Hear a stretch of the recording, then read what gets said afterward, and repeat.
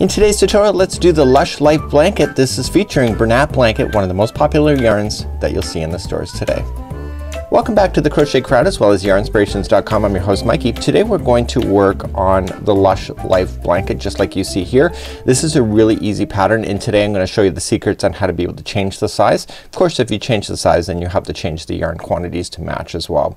You're going to need a size N 10 millimeter crochet hook today and if you want to do the blanket as you see here you're going to need three balls of two colors. So you're going to need three balls of this one here. This is silver steel. This is one of the most popular colors colors that, that are out there and then you're also gonna need vintage white. So you need three balls of each in order to complete the size and this will give you approximate size of 52 inches by 60 inches. So let me tell you the secrets on how to be able to change the size of this afghan.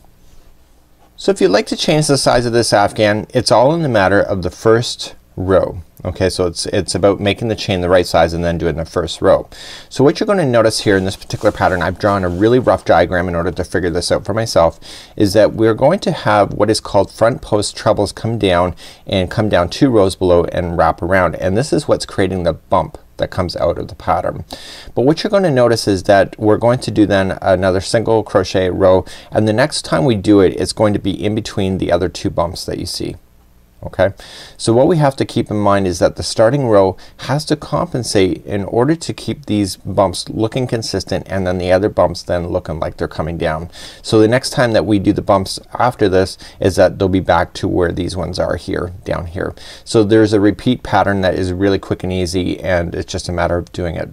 So what is the secret in order to change the size? You must keep these in groups of two. So when you go to crochet you can go one, two, one, two, one, two and once you're satisfied with the length of the chain just add three at the end and this will give you an odd count of these posts that are in the first row in order to make this happen. If you end up with an even number like 10 or 12 or or whatever the it's it, whatever an even number is then what's gonna happen is that these uh, particular trebles here will not work because they, they will not sit properly in the pattern. So without further ado let's uh, grab our yarn. I'm gonna be using uh, Bernat Blanket today. I'm gonna use a solid color in order to show you this technique.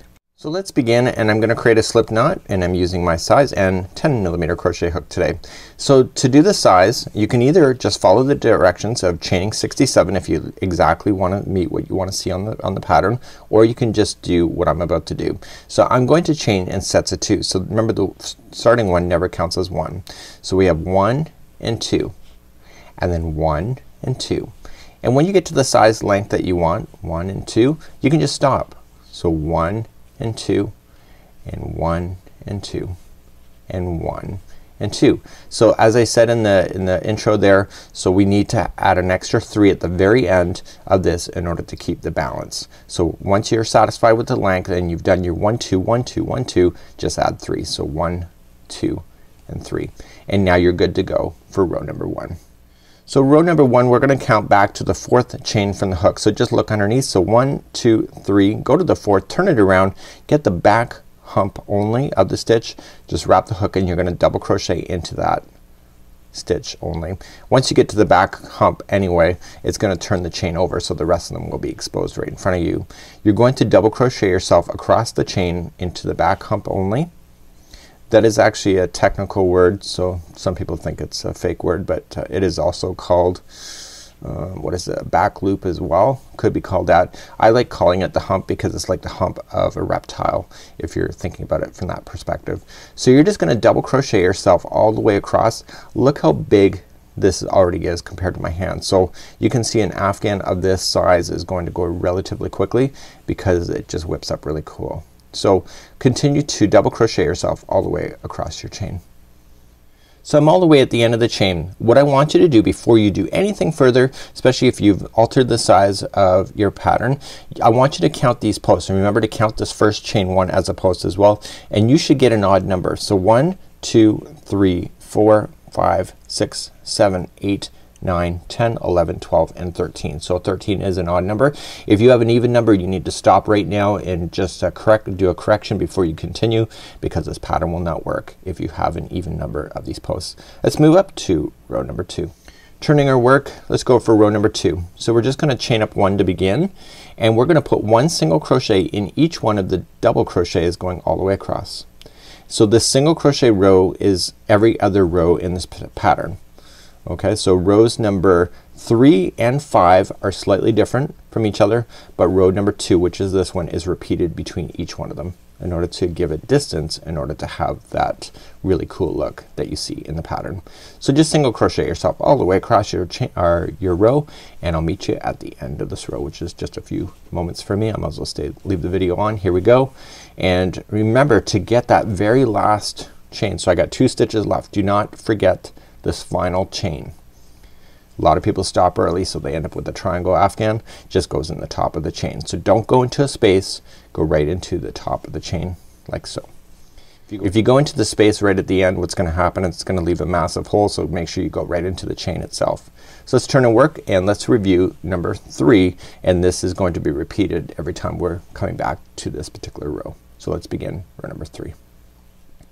So the third row is going to repeat itself over and over and over but what we're gonna do is that we're gonna repeat row number uh, three or sorry two three four and five. Okay so this is number two here.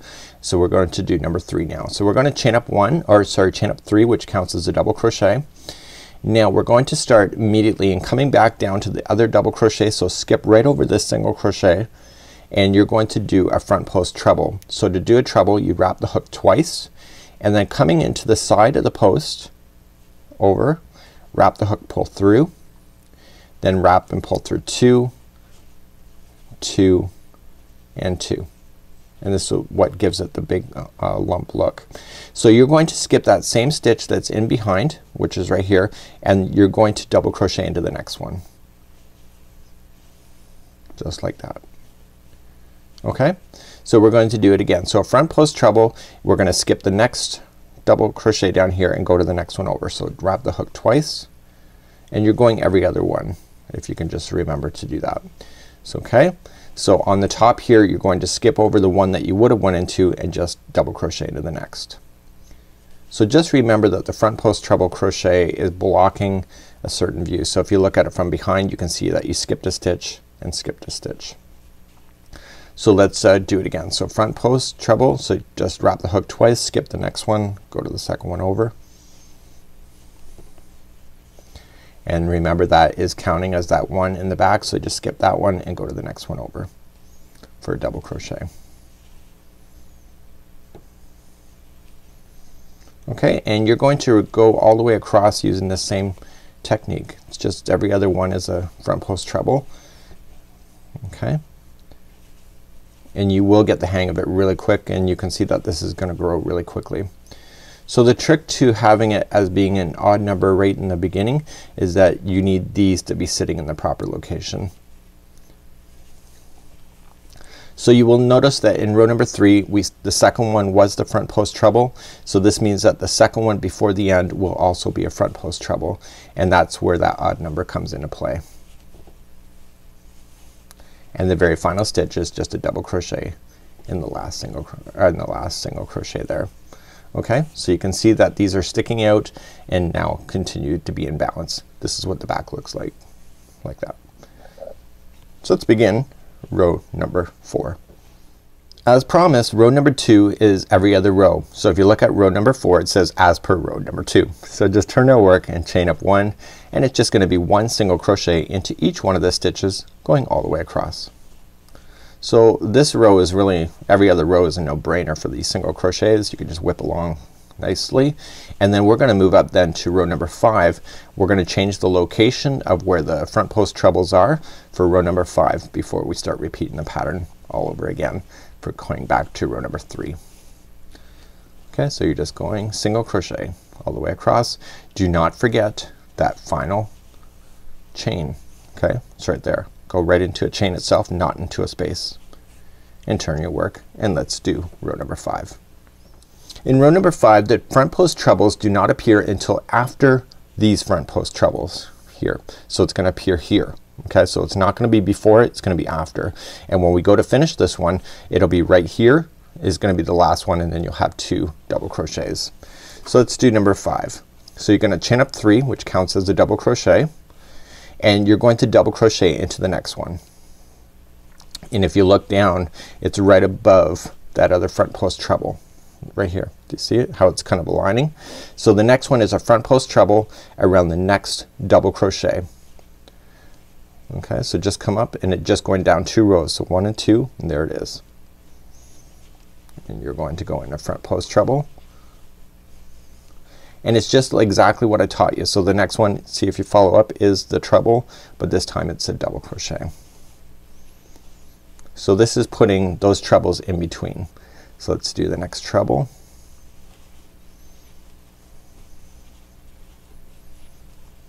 Okay, and the next one is a double.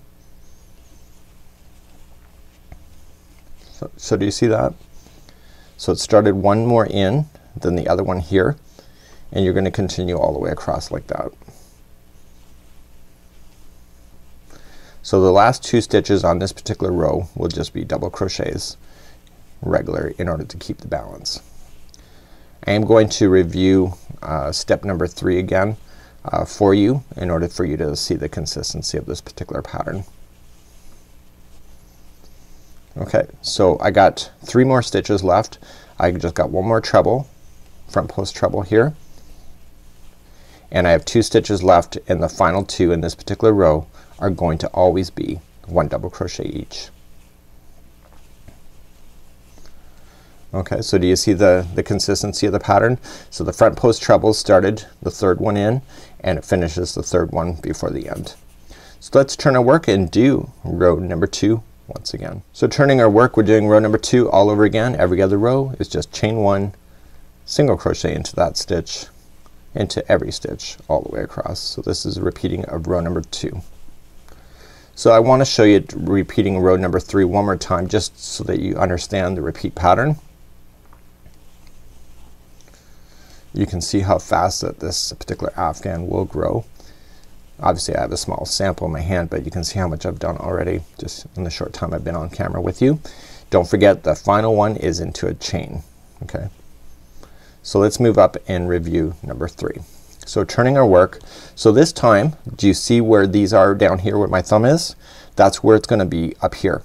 Okay, so it's just gonna follow up and then it's just gonna be in between the other trebles that you saw.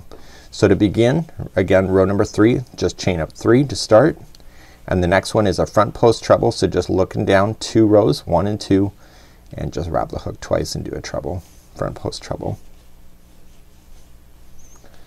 Okay, and the next one then if you follow it up is just a double crochet. So this is now putting those trebles in between the other ones. Okay, just straight down.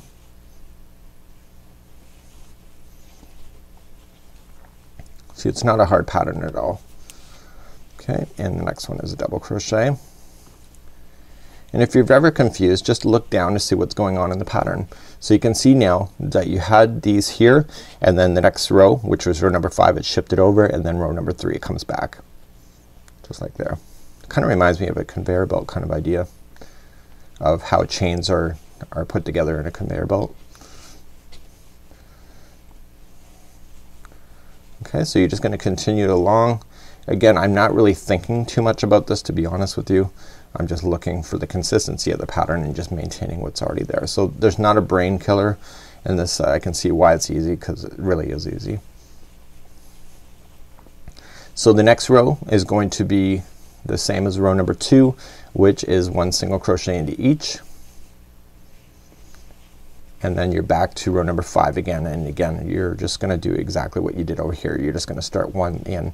So the final stitch is just a double crochet. So if you can understand this pattern so you can see it just like here I'm gonna put down the hook so I can hold it open for you. Okay, so in the first one here we had the trebles all right and almost to the sides. It's just one left over.